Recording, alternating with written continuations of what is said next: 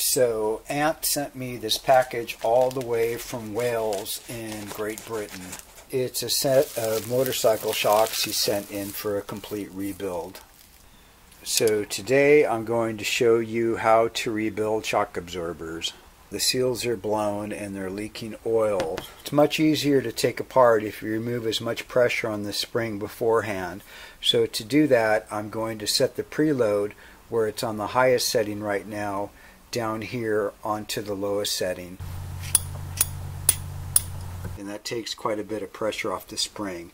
Now we can release the pressure and drain the oil. Now before you loosen the oil drain screw, flip the shock upside down and let it sit for a few minutes. And that way the oil runs down and when you loosen the screw, when it relieves pressure, it won't spray oil all over the place. And loosen the screw about a quarter turn until it releases the nitrogen pressure. And with the screw out, then you can drain out the oil.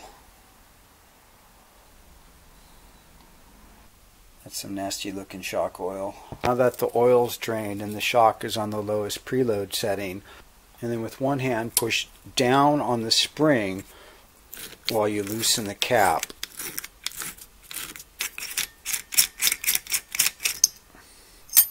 And then remove the trim ring and pull the spring off of the strut. This rebound damper protects the shock when it bottoms out but this is pretty worn so I'm going to remove it and install the new style. The updated style has more surface area, it's progressive and has adjustable rebound. Badass. And then remove the spring collar. Before I remove this seal, I'm going to clean up the strut body because the oil allowed all this dirt and grime to collect.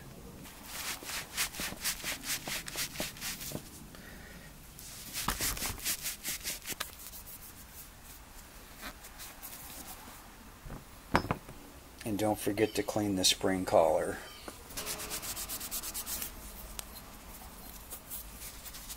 Now that everything's clean, I can pry out the seal without worrying about more dirt falling down inside.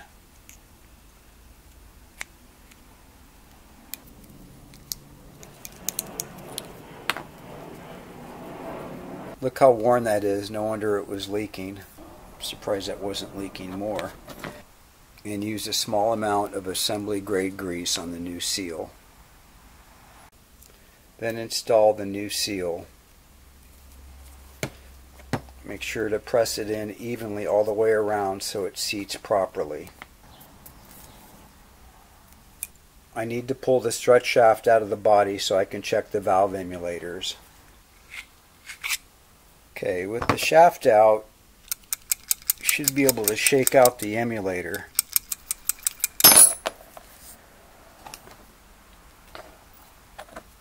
The valve body and the emulator is in great shape. I just need to clean it up before reassembly.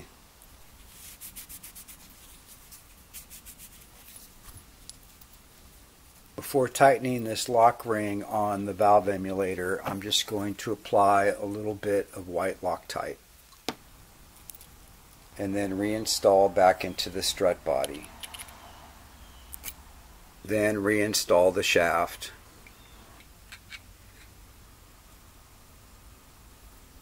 And then put on the so this shock has proper tensile strength and it looks okay on the outside, but if proper maintenance isn't followed, you can get dirt and rust buildup on the inside.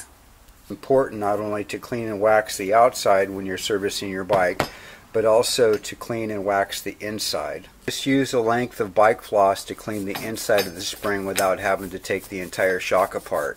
You can do this when it's also on the bike. I just need to buff and polish this chrome trim ring.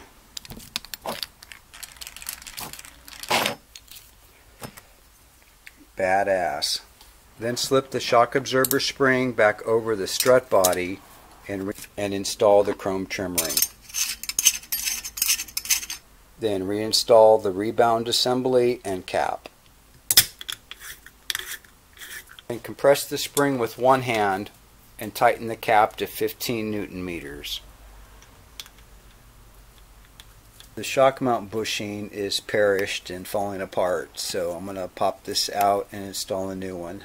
I use a piece of soft wood with a hole drilled in it, and that way I can safely drift out the old bushings without damaging the shock. That was ready to split in half. Then press in a new bushing.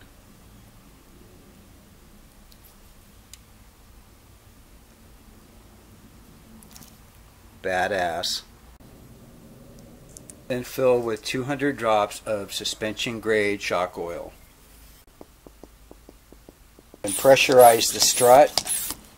Then reinstall the oil drain screw.